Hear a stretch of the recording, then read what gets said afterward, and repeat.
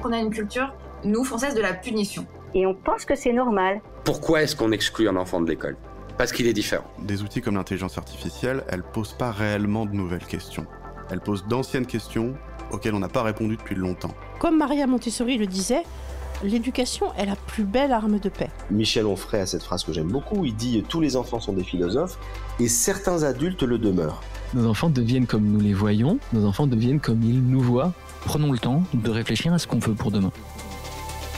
Bienvenue sur le podcast Les adultes de demain. Je m'appelle Stéphanie Descleb, je suis entrepreneur et surtout une actrice engagée pour l'enfance.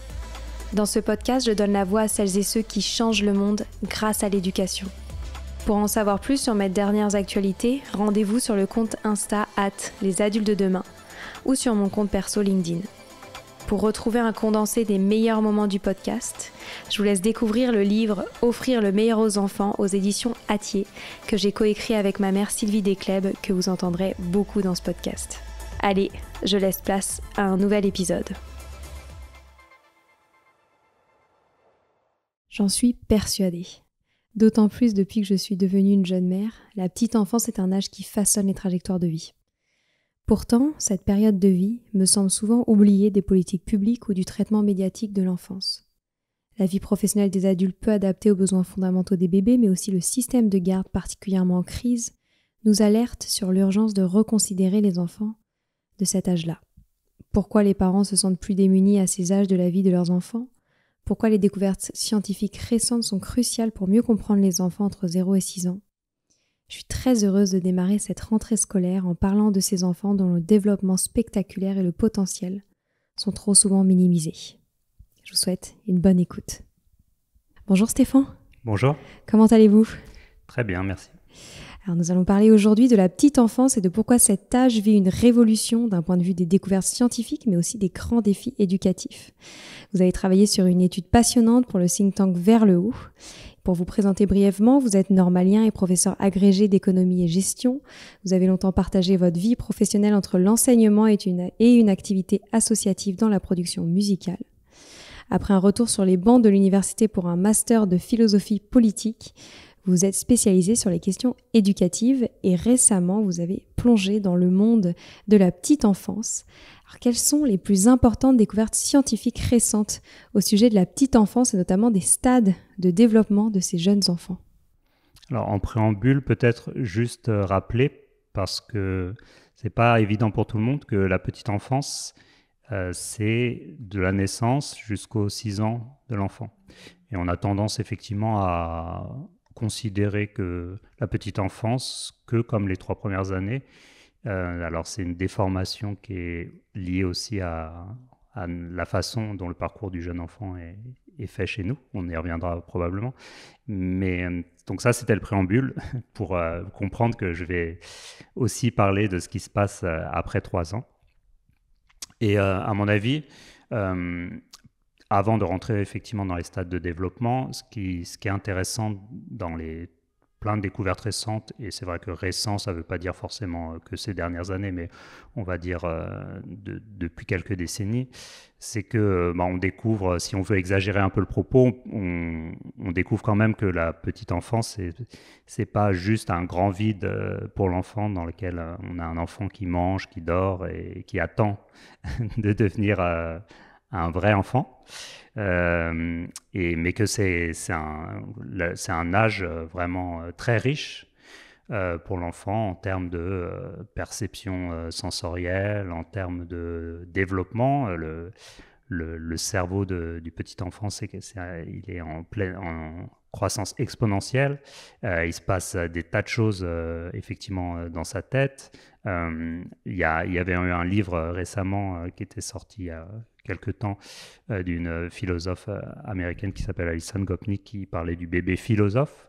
Donc euh, le bébé perçoit a des schémas mentaux assez élaborés déjà et, et c'est donc une période où l'enfant est vraiment conscient de, son environnement et de ce fait, ben, on va dire que justement l'image qu'on peut avoir de c'est finalement quand l'enfant est tout petit on n'a rien à faire que de le laisser là où il est et, finalement de, de, le nourrir et de s'en occuper uniquement quand il pleure. Ben, c'est une image qu'il faut un peu déconstruire parce qu'en fait, l'enfant a besoin d'être accompagné de façon approprié dans tous les stades de son développement, effectivement. Alors, euh, par exemple, on sait que l'enfant, euh, dès le ventre de sa mère, en fait, dès qu'il est un fœtus, il commence déjà à distinguer euh, le langage, à distinguer certains sons auxquels il réagit plus que d'autres. et, et c'est effectivement, par exemple, sur le développement du langage, on a tendance à parler aux enfants une fois qu'ils sont capables de réagir et de répondre. Alors qu'on se rend compte que euh, c'est très important de leur parler euh, dès le tout petit, y compris quand ils ne sont pas encore euh, capables de, de répondre, parce qu'en fait, ils, ils, comprennent beaucoup plus de choses que ce qu'ils sont capables d'exprimer. sur le plan du langage, par exemple. et puis, bah, on sait, voilà, on se rend, après, les grands stades, ils sont multiples parce que c'est le développement de l'enfant dans ses premières années, il est vraiment sur plein de plans différents. Alors, euh, sur le plan euh, moteur, où effectivement, on voit très bien qu'il apprend un, un moment à, marcher, à bouger. Mais ce qui veut dire qu'à chaque étape du développement moteur, il faut lui proposer euh, des nouvelles expériences qui sont adaptées. mais aussi que, par exemple, des, des choses qu'on sait maintenant, c'est que par exemple, vers un an, l'enfant euh, commence à mettre en lien ses expériences et ses émotions. Donc c'est à ces moments-là, par exemple, qu'il peut euh, découvrir la frustration de ne pas arriver à faire quelque chose qu'il veut faire. Et donc, euh, si on veut qu'il continue à, qu'il se décourage pas, qu'il continue à explorer, il faut accompagner ces choses-là. on sait maintenant que des connaissances cognitives essentielles que l'enfant va pouvoir utiliser justement plus tard, euh, quand il sera élève, par exemple, euh, telles que euh, la capacité de mobiliser des, connaissances appropriées, la capacité à passer d'une activité à une autre facilement, etc. Ben, c'est des capacités qui se développent très tôt, qui se développent dès deux ans, par exemple. Et puis, et puis on, a aussi beaucoup plus de connaissances maintenant sur son développement socio-émotionnel, notamment la façon dont il prend en compte euh, les autres dans son développement, les autres enfants. On sait qu'effectivement, c'est un stade qui intervient après deux ans, mais souvent à partir de trois ans, et que c'est à ce moment-là qu'il découvre vraiment, il prend conscience de l'autre, des autres enfants, et, euh, là qu'il y a aussi, euh, par exemple, tout le paradigme social qui entre en compte, bah, comment coopérer, comment partager des jouets, comment il va commencer à essayer de comprendre les réactions des autres, comprendre les émotions des autres, euh, euh, comprendre les conséquences de ses propres actions sur les autres, et, etc. Et donc, euh, finalement, on parle d'étapes, mais ce, que, moi, ce qui m'a le plus frappé, c'est que finalement, on est véritablement dans un continuum, c'est-à-dire d'apprentissage qui, qui s'ajoutent les uns aux autres, ce qui, ce qui fait que ce 0-6 ans, effectivement, on a un peu tendance à le voir justement sous forme de rupture. On dire bon, 0,3, bon, bah, c'est un enfant qui a besoin d'être plutôt gardé, etc. Puis à partir de 3 ans, il commence vraiment les apprentissages. Et en fait, on se rend compte que c'est une vraie euh, séquence euh, continue où euh, finalement, les ce qu'on va lui demander en maternelle, en fait, ça s'appuie beaucoup sur ce qu'il va pouvoir développer avant. et donc, c'est vraiment cet aspect-là qui, est marquant dans, notre connaissance actuelle du jeune enfant. On parle aussi souvent des besoins fondamentaux euh, des jeunes enfants. Qu'est-ce que vous avez à dire à ce sujet et qu'est-ce qui a récemment évolué d'un point de vue du savoir au sujet des besoins fondamentaux de ces enfants-là? Alors, sur le plan des besoins fondamentaux, il y a un besoin en particulier qui a été identifié euh, récemment comme euh, un méta-besoin, c'est-à-dire un besoin un peu surplombant par rapport aux autres besoins. Et c'est le besoin qu'on a qualifié de besoin de sécurité de l'enfant. Euh, alors, c'est sécurité sur plusieurs plans, effectivement, aussi bien sur le plan euh, physique que sur le plan effectivement psychologique, émotionnel, etc. Et pourquoi on parle de méta-besoin? Parce qu'en fait, ce dont on se rend compte, c'est que, bon, c'est un peu le prolongement de choses dont on parle beaucoup, euh, euh, telles que la, voilà, les problèmes de, de, lien, d'attachement de l'enfant, etc. Mais c'est effectivement que c'est une fois que ce besoin est assouvi, que l'enfant peut voilà, assouvir les autres besoins. Donc ces autres besoins, c'est l'enfant a besoin d'expérience, d'explorer. C'est comme ça, effectivement, qui, qui va se développer, notamment effectivement sur le plan moteur, sur le plan social, etc. l'enfant a un besoin d'estime de soi, de valorisation. L'enfant a aussi besoin de, de repères, que peuvent être les règles, les, limites, etc., qu'on lui fixe. Mais tous ces besoins-là, effectivement, euh, ne, au préalable, nécessitent effectivement qu'ils se sentent en sécurité. Finalement, euh, le bon exemple, c'est l'exemple de d'exploration et de découverte du monde. Il a besoin de découvrir plein de choses par lui-même, et il le fait très naturellement, mais il le sait, il le fait s'il sait que euh, en cas de problème, il peut retourner vers l'adulte et qu'il est, est, sécurisé. Euh, on se rend compte qu'effectivement, les enfants qui sont peu sécurisés, euh, c'est des enfants justement qui, qui ne s'autorisent pas à aller explorer, qui, qui, sont, qui ne vont pas euh, effectivement, euh, et, euh, on va dire, assouvir ce, ce, besoin et donc du coup vont être aussi freinés dans leur possibilité de développement. Très intéressant. Et alors, dans votre étude, vous pointez également un, point qui me semble essentiel, c'est à quel point l'enfant à cet âge-là est sensible à son environnement et notamment la construction de son cerveau. Pourtant, euh, de toutes les lectures que, que je réalise ou aussi de tout ce que j'entends, j'ai quand même l'impression que euh, on porte une importance assez relative à cet âge-là de la vie de l'enfant, euh, que ce soit d'un point de vue des politiques publiques ou du traitement médiatique. Quelle est votre analyse à ce sujet? Alors, bon, je vais peut-être aller un peu loin dans mon jugement, mais j'ai quand même l'impression que, la façon dont on considère le jeune enfant, elle est, elle est en fait très peu liée à sa nature propre. C'est-à-dire qu'en fait, quand on analyse, et c'est assez flagrant quand, on se penche justement sur cette question de la petite enfance, quand on analyse la, les problématiques autour du jeune enfant, les analyse par deux prismes qui me semblent être euh, pas évident en, vérité. C'est d'abord par le prisme des adultes, et c'est-à-dire que la préoccupation principale euh, finalement qui entoure le jeune enfant, c'est euh, de en fait s'en occuper pour euh, libérer les adultes de on va dire de, leurs obligations parentales. Et donc que les adultes puissent retourner au travail que ou euh, qui puisse s'adonner à des occupations d'adultes. C'est-à-dire que c'est un, premier prisme par lequel, effectivement, on aborde cette question qui fait qu'on s'intéresse peu, finalement, à l'enfant lui-même. Et l'autre raison, à mon avis, c'est aussi qu'on voit l'enfant avant tout comme un élève et qu'on est pressé que l'enfant euh, mette son cartable sur le dos et euh, se rende à l'école. Et ça, à mon avis, c'est un prisme qui pourrait déformant qui qu'on pourrait euh, voilà, appliquer à toute la scolarité de l'enfant, à tout son parcours.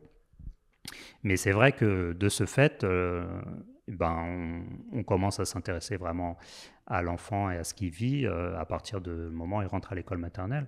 Et en, se disant qu'avant, bon, c'est pas encore vraiment un enfant intéressant parce qu'il ne peut pas apprendre les choses qui sont importantes du là encore probablement du point de vue des adultes.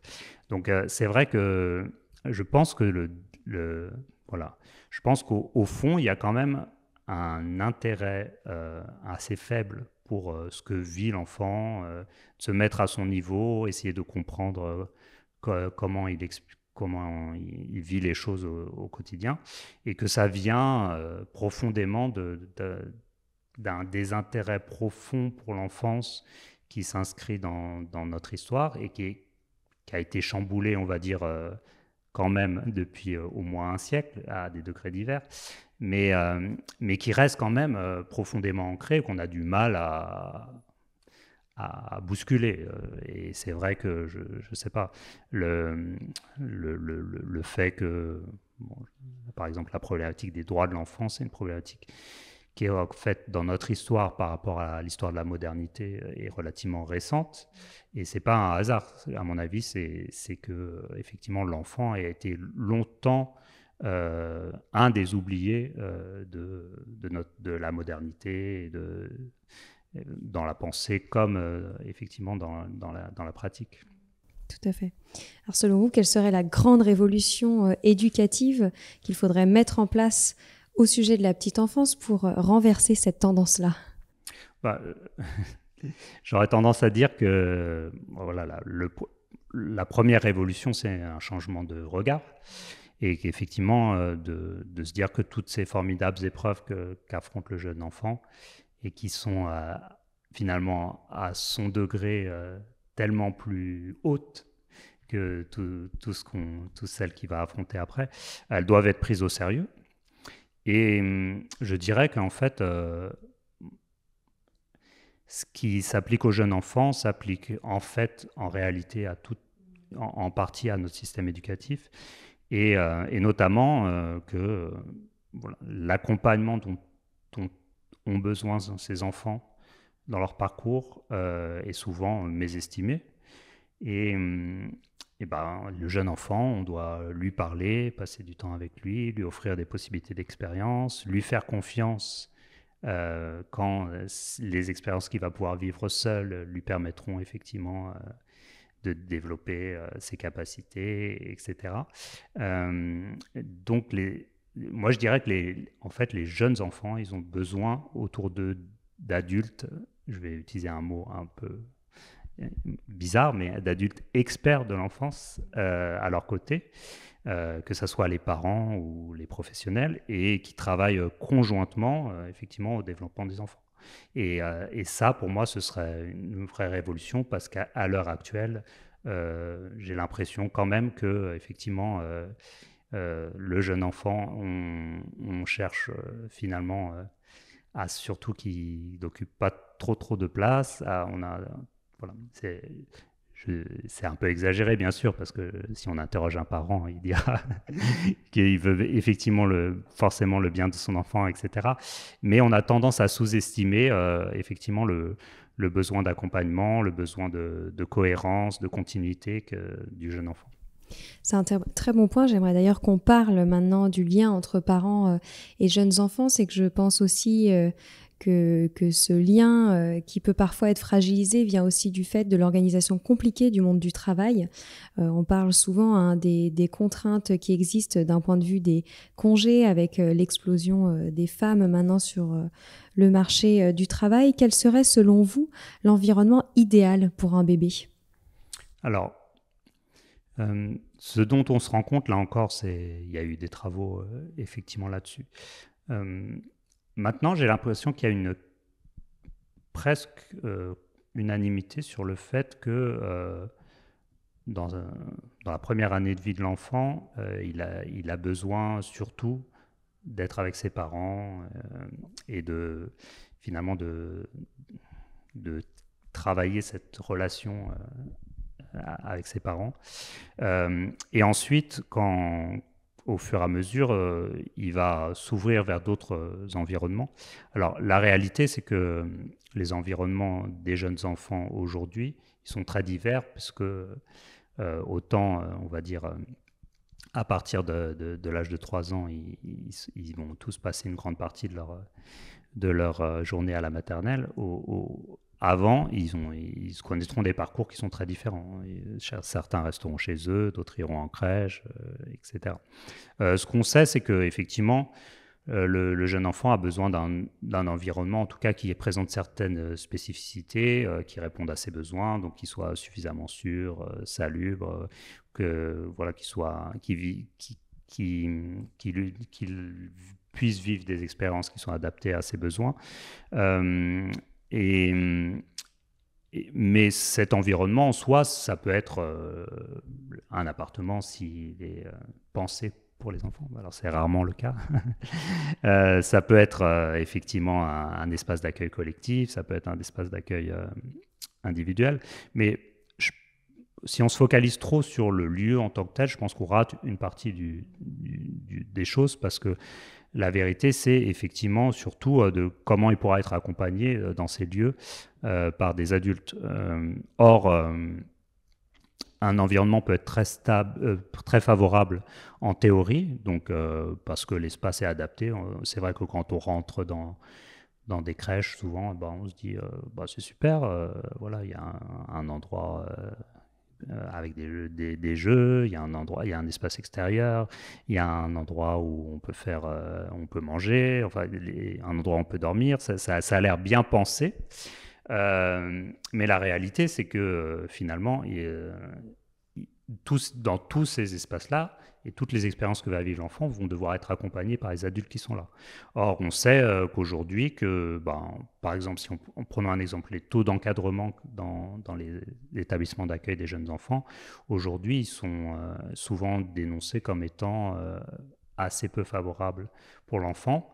Euh, parce que effectivement il n'y a pas assez d'adultes euh, pour euh, par rapport au nombre d'enfants dont il faut s'occuper. un, donc un autre exemple, c'est la formation de, ces adultes-là qui, qui, vont s'occuper des enfants. Bah, finalement, on, on, se rend compte aujourd'hui que ils sont pas toujours très bien. Alors je dis il, mais je devrais dire elle, parce que c'est quand même pratiquement que des femmes. Mais elles sont pas toujours très très bien formés, suffisamment formés justement sur euh, la connaissance du développement de l'enfant, etc. et sur euh, quelles activités vont être propices à son, à son développement. Et donc, euh, et finalement, elle dispose probablement d'espaces adaptés, de matériel adapté, etc. Mais ils n'auront pas toujours la disponibilité et, et, non plus tous les outils pour accompagner justement les enfants. Donc, sur ces plans-là, c'est vrai que il y a eu de nombreux rapports qui préconisent euh, que les ratios, par exemple, d'encadrement soient revus. Euh, là, actuellement, on est plutôt à un adulte pour cinq enfants pour les tout petits, les, ceux qui ne marchent pas encore, et un adulte pour huit enfants pour ceux qui sont un peu plus grands, on va dire jusqu'à trois ans. Mais après, quand on passe en école maternelle, on, devient, on arrive sur des ratios beaucoup plus élevés. Et, et, et même ces ratios-là, on, la plupart des experts considèrent qu'ils devraient être réduits à probablement un adulte pour quatre enfants, au moins entre 0 et 3 ans. Euh, et pareil pour la formation, effectivement, on, se rend compte que euh, euh, probablement que les formations de, de, la plupart des adultes qui travaillent avec des enfants sont encore bien trop tournées vers des aspects très sanitaires, par exemple, et pas assez ouverts sur le développement de l'enfant, euh, les outils éducatifs, je vais, je vais dire ce mot-là, même si euh, effectivement parfois on, trouve que c'est de façon pas appropriée qu'on en parle pour les tout petits. Mais c'est vrai que ces outils éducatifs, ils sont pas toujours euh, bien maîtrisés par les professionnels et elles se sentent pas toujours très bien équipées pour effectivement accompagner toutes ces phases de développement. Et surtout valoriser. Alors, pas, effectivement, pas valoriser. Euh, mais une façon de les valoriser, alors euh, bien sûr, euh, pas valoriser parce que, encore une fois, la perception qu'on a de ces métiers-là, elle est souvent très caricaturale. Je me, voilà, on, a tendance à penser effectivement que c'est des métiers où encore une fois, on change des couches, euh, on cherche des tétines et on donne à manger à des enfants. Euh, mais justement, une façon de les valoriser, c'est aussi une façon de, les rendre compétentes sur euh, pas mal d'aspects, sur, sur bah voilà, tous ces aspects d'accompagnement du développement du jeune enfant. Si, en fait, je ne sais pas, pour prendre des exemples ailleurs en Europe, il y a, y, a, des endroits, nous dans la dans, le travail d'études qu'on a fait sur, cette question-là, on met en avant par exemple un, exemple qui est souvent cité dans les études, qui est celui de la ville de Pistoia en Italie, euh, où par exemple toutes les professionnels de la petite enfance, de, de 0 à 6 ans, ont le même statut. Elles sont toutes appelées enseignantes, elles ont euh, effectivement le même statut, qu'elles s'occupent de tout petits ou qu'elles s'occupent d'enfants de, de 4, 5 ou 6 ans. Elles ont toutes accès à, des formations étendues. Euh, voilà. Et elles ont aussi, euh, elles, ont aussi dans leur euh, fonction des temps prévus pour, pour faire de, l'analyse de pratique entre professionnels. Il n'y a pas de séparation entre voilà, les, profs de maternelle et les, les auxiliaires de puériculture. Il, y a une part de, connaissances communes et elles, sont valorisées aussi mutuellement par, euh, euh, la, on va dire, le, euh, le fait que bon, elles se considèrent toutes comme des, des, aides essentielles dans le développement de l'enfant. Oui. Et je suppose qu'il y a aussi une question de valorisation salariale? Alors oui, bien sûr effectivement, on sait que, ce sont des métiers qui sont euh, sur ce plan euh, pas énormément, enfin voilà, qui sont souvent un peu dévalorisés sur, sur ce plan-là.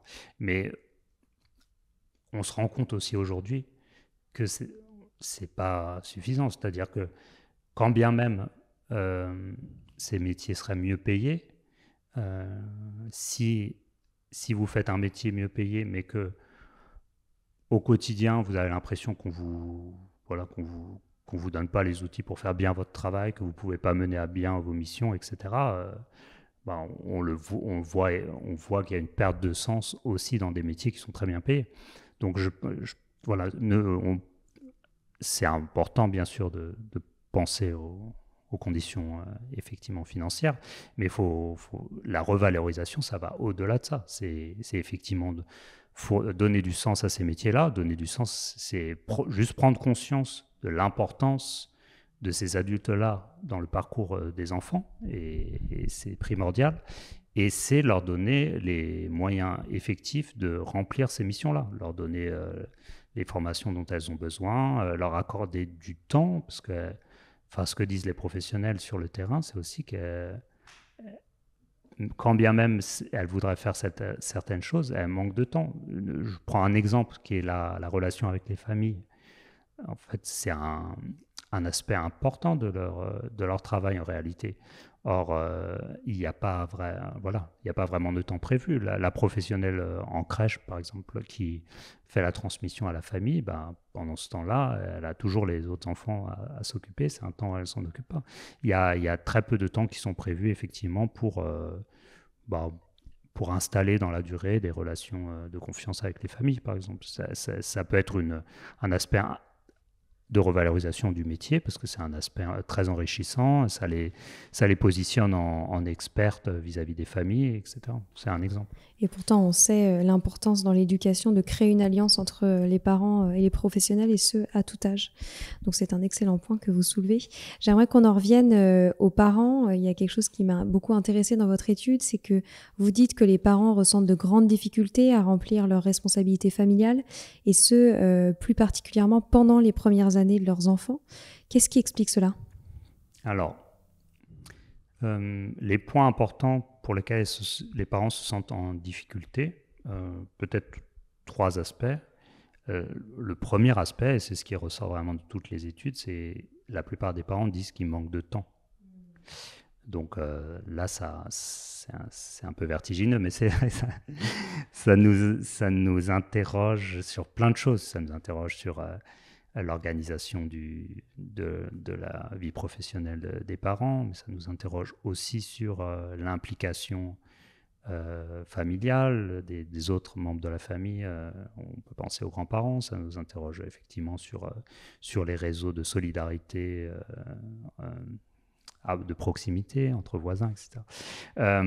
D'autres facteurs qui sont importants, c'est que les parents soulignent aussi qu'ils ont en fait une grande méconnaissance justement de, de, certains aspects du, d'accompagnement de, de, leurs propres enfants.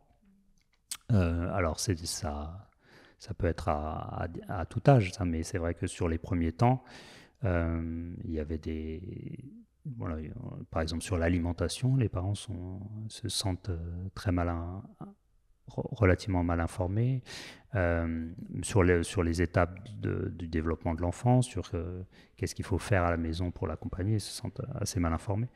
Et puis, euh, et puis aussi, une des difficultés, elle vient souvent de l'isolement. Alors l'isolement, c'est, c'est aussi une question d'accompagnement quand même un petit peu institutionnel, c'est-à-dire que prenons l'exemple, en fait c'est chez Verlo, on a un, format podcast qui est, où on interroge des, des, jeunes sur leur parcours, etc. Et ma collègue Marion qui l'anime a interrogé justement une jeune maman sur, sur sa vie de jeune maman. Et c'est une des choses qu'elle a spontanément abordé, euh, effectivement, de dire euh, pendant la grossesse, euh, on est super encadré, on a des rendez-vous tout le temps, etc. Et puis, une fois qu'on retourne à la maison, ben, on, est, on se trouve tous un peu tout seul. Et c'est vrai qu'il y a. Alors, dans les premiers temps de la vie de l'enfant, il y a quelques rendez-vous, sage-femme, il y a le médecin. Mais c'est vrai que que rapidement, si on ne sait pas forcément à qui s'adresser quand on a des questions, on peut se retrouver un peu, un peu seul. C'est vrai que c'est un, une source euh, de difficultés, d'autant plus que euh, ben, dans les premières années,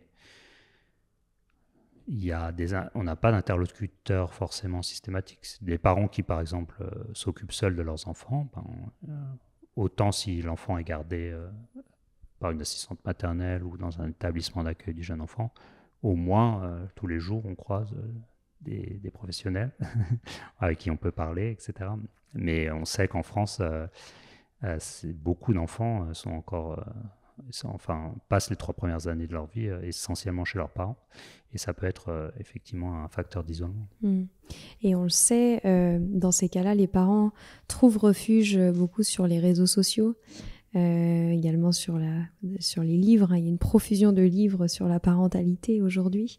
Et ce qui fait que les parents se sentent souvent euh, totalement euh, engloutis par ces informations, par cette profusion qui nous permet plus vraiment de savoir vers laquelle se tourner. Qu'est-ce que vous auriez à dire à ce sujet? Hum. bah, Déjà que c'est un constat qui est... constat qui est, vrai. Mais c'est vrai que les parents spontanément euh, euh, donc reconnaissent qu'ils sont relativement mal informés et ont du mal à savoir euh, vers qui se tourner dans ces cas-là.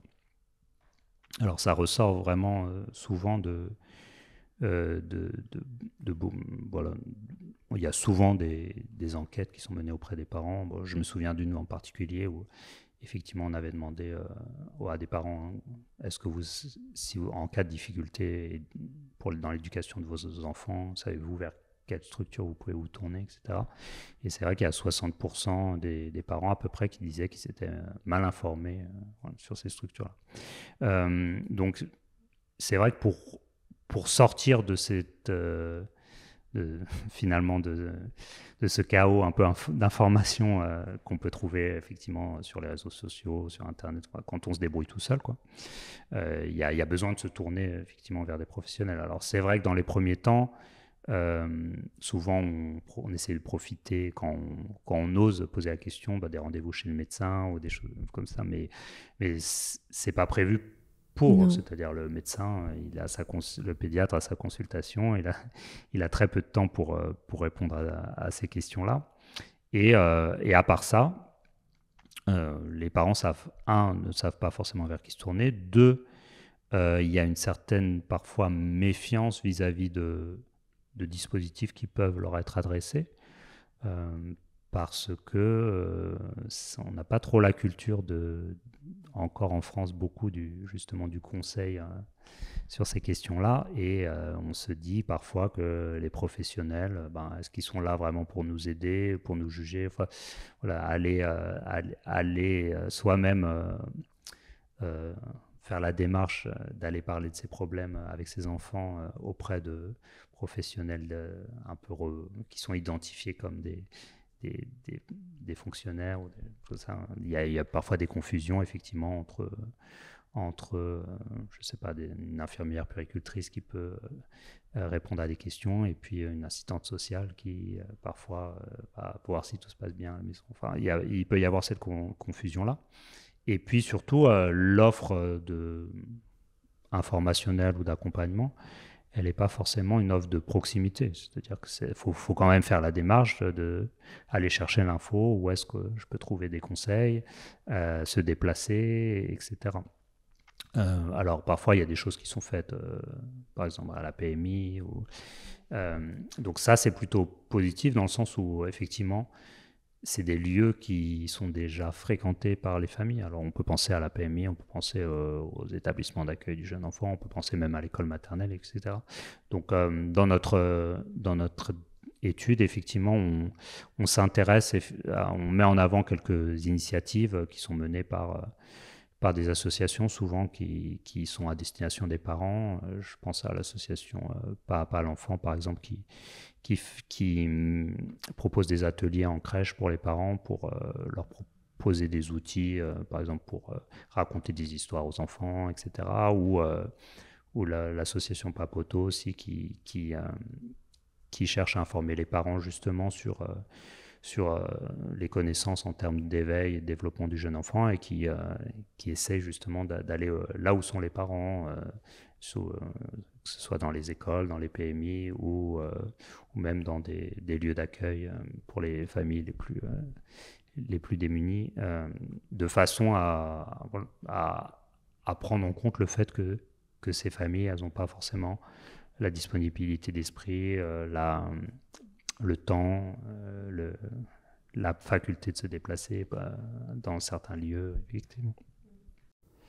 On a parlé hein, du système de garde en France qui est particulièrement en crise, euh, et notamment euh, ce système de crèche qui ne permet pas à tout parent de laisser leurs enfants, que ce soit en termes de place, mais aussi en termes de qualité d'accompagnement, hein, puisque vous l'avez souligné, il, manque cruellement de professionnels pour s'occuper euh, de ces enfants euh, dans ces lieux euh, d'accueil collectif. Pourquoi est-ce qu'on en est arrivé à une telle crise et selon vous, quelles seraient les solutions pour s'en sortir? Hmm. Alors, le pourquoi, c'est vrai que c'est un, peu compliqué comme question. ce qui est sûr, c'est qu'il y a une vraie demande. Hum, il y a une étude euh, qui voilà, une étude qui sur la garde d'enfants qui, est sortie il n'y a pas longtemps, dont on parle euh, dans notre décryptage, euh, qui, a estimé qu'aujourd'hui, 56% des enfants sont gardés principalement par leurs parents. Alors principalement, c'est en termes de, temps passé à la maison, Bon, sans rentrer dans les détails. Mais euh, la même étude montre, en interrogeant les parents sur leurs souhaits, montre que si les souhaits des parents étaient finalement compatibles avec euh, l'offre d'accueil, euh, cette proportion elle tomberait à 35%. Donc en fait, effectivement, il y a une réalité dans le fait que les parents aimeraient disposer de plus d'offres d'accueil. Et en même temps, on, voilà, on se rend compte de phénomènes assez euh, intéressants.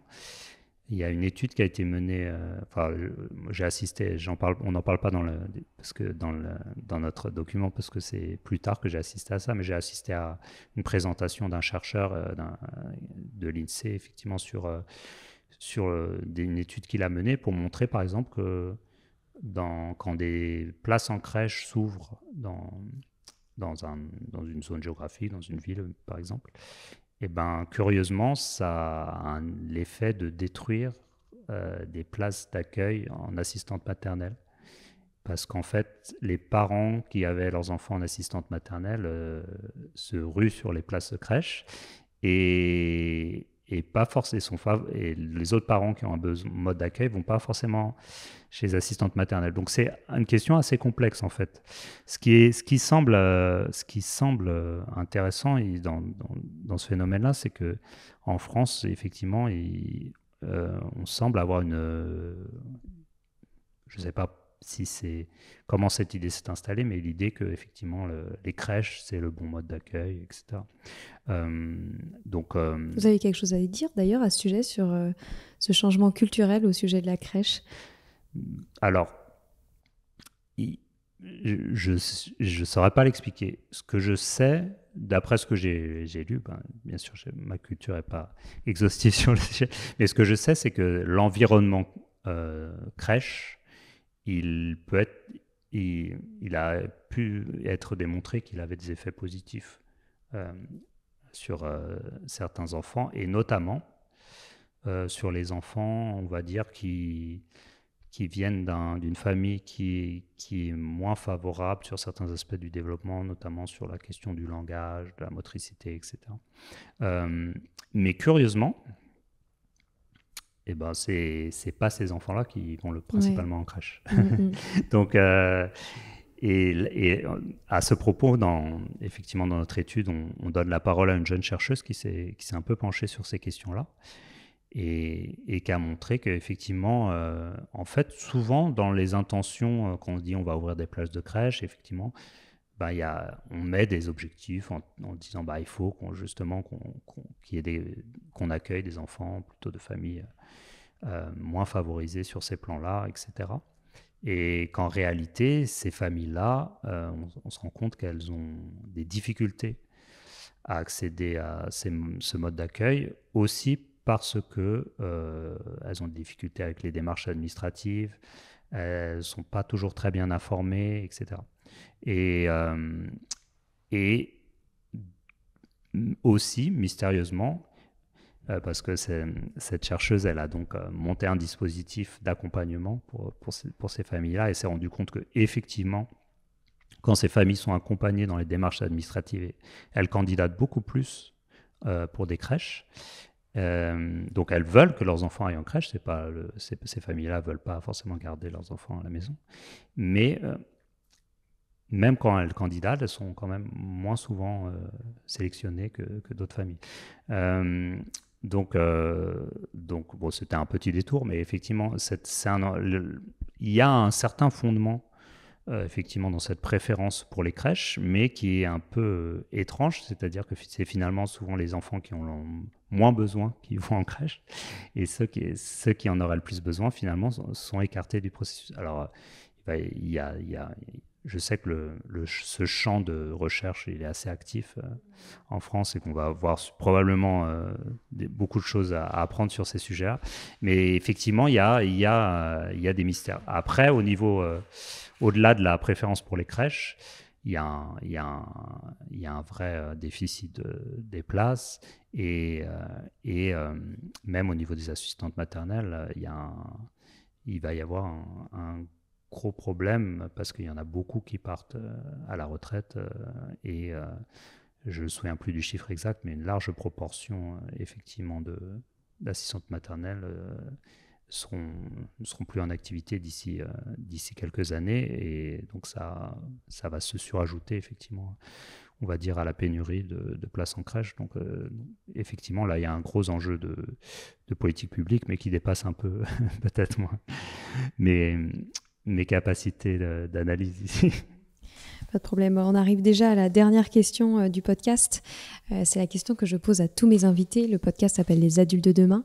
Qu'est-ce que vous souhaiteriez aux enfants d'aujourd'hui, les futurs adultes de demain?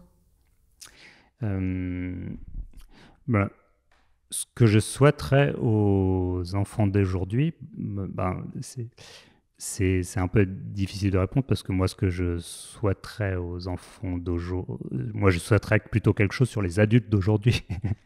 je, souhaiterais que, la question de l'enfance devienne un enjeu principal euh, et prépondérant euh, pour les adultes d'aujourd'hui. Euh, pour qu'ils se, bah, pour quelque part se dire que effectivement les adultes de demain, donc qui sont les enfants d'aujourd'hui, ben, ne connaîtront pas forcément euh, les mêmes difficultés qu'eux et que ça, ça se travaille dès, dès, l'enfance. Et c'est vrai que bah, je, vais être obligé, enfin, je, vais parler un peu d'actualité euh, quand même, mais ça me semble effectivement toujours très étonnant que la question de l'éducation, les questions de l'enfance soient si marginalisé euh, dans le débat public et si loin des préoccupations euh, des, des, gens. C'est vrai que quand, quand, on regarde vraiment les, les enquêtes, on se dit euh, bah, quels sont les enjeux prépondérants. Bon, ça arrive dans des ordres différents, mais on, trouve le pouvoir d'achat, l'immigration, il y en a deux, trois autres comme ça, et très loin, l'éducation. Ce qu'on est, nous, chez Vers le Haut, effectivement, on, considère que l'éducation, c'est un, un, vrai sujet de société et, et on aime et que en fait un projet de société euh, ça se bâtit sur un projet éducatif.